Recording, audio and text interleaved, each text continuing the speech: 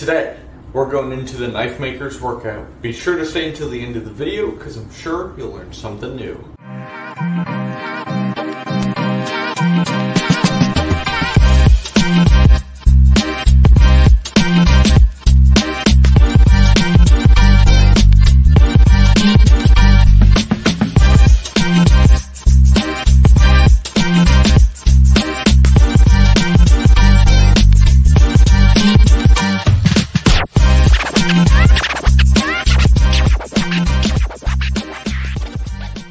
What's up, everybody? My name is Jack Billing, CEO and founder of Shed Knives. And like I said today, we're going into the Knife Makers workout, what it is, how to do it, and why I do the Knife Makers workout. So let's get into it.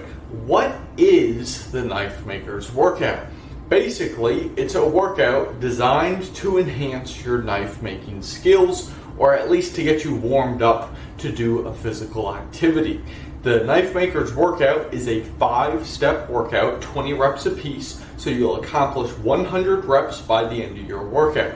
It's pretty simple, there's not much to it. You can do it all with your own body weight, as you see, and it's just something I've been doing for several months now before I get into the shop because it gets me ready, gets me in the right mindset, gets me ready to go.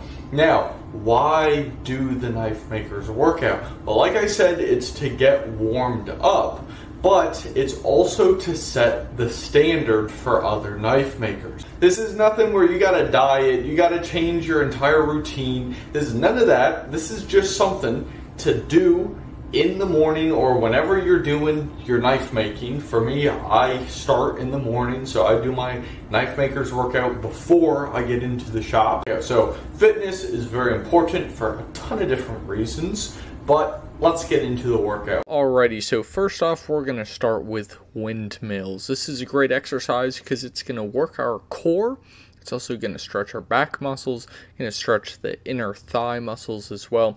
So this is a nice workout to just warm up with and it just gets the motion going. So 20 reps for every exercise. If you do mess one up, mess up a rep, just do a clean one because just like my knives, if I mess one up, I have to do it right. So I have to do another one. And same thing goes for the reps. Which brings me to shedknives.com. If you like knives, like you see on the right here, I highly encourage you to check out shedknives.com at the link in the description. Next, we're moving on to jumping jacks. This is pretty simple. Just jump, spread your feet, open your arms. Uh, pretty simple exercise here. Once again, 20 of these, and uh, just get some motion going. So you see how I'm applauding throughout each exercise. This is really good if you have a group of people. You can certainly do it when you're by yourself, but if you have a group, it's great because then everybody kind of applauds each other and gets them motivated. Uh, now we're doing air squats here. Just picture you're sitting on a chair and standing up while holding a basketball or a soccer ball. Just it's a good visualization there. This works your legs and it keeps your hands and everything uh, just centered. So a little structure there. So this is really good. Once again, another applaud there. Just get the group going. Now we're going to move on to sit-ups. This works once again really good if you have a partner, but I don't here, so I'm just going to stick my legs straight out or at least as far out as I can to give a little counterweight there. So that's why you see the legs moving, just it's a counterweight. This obviously is going to work your core. If you keep your hands behind your head, it's going to be tougher, where you can keep them in front of your chest if you want it to do a little easier. But once again, having somebody hold your feet is also helpful. Little buddy system there.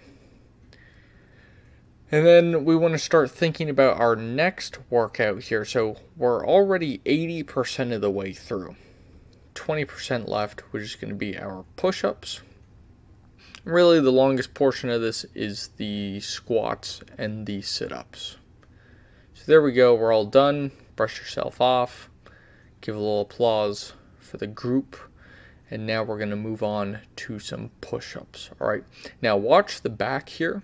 Look how straight everything is from the front of my face, neck, back, legs, everything lines up. Okay, so we want to do 20 clean push ups. You can work a few different types of push ups, but uh, just 20, get them done, and you're done with the Knife Makers workout. If you enjoyed this video, go ahead and hit the subscribe button. If you know someone who might like this video as well, hit the share, and thank you all for watching.